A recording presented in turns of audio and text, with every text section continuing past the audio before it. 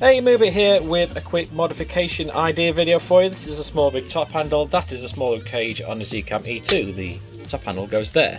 Now, the problem with this is, I've just come off of a film set, um, you can buy things like this from Small Rig or other companies, as you know, it's other things available. Now, they're, they're either, um, you know, screwdriver thread, or they're various full sizes of Allen keys, so numbers 3, 4, 5, 6, that kind of a thing.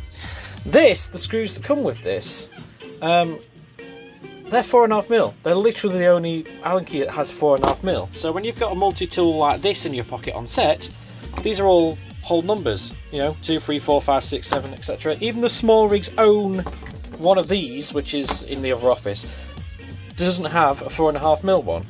So I literally had this from from my shed, and uh, I lost it on set um, once, and I had couldn't get the top handle off to put it on a gimbal. So I've had an idea to modify um, this handle to store this Allen key um, because I don't really.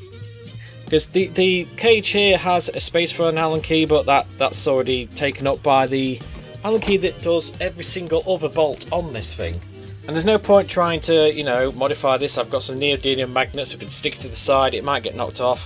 I only really need this for this. So I'm going to actually put this with this. And I've had an idea. The end of this handle comes out like so. And it's just a piece of plastic with slightly rubberized things.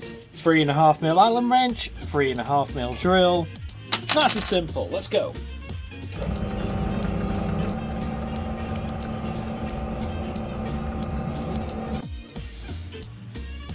There we go.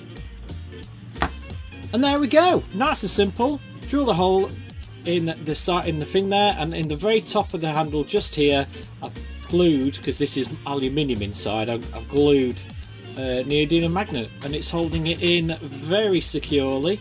As you can see, you can't. It's not going to fall out, but you know you can still just pull it out.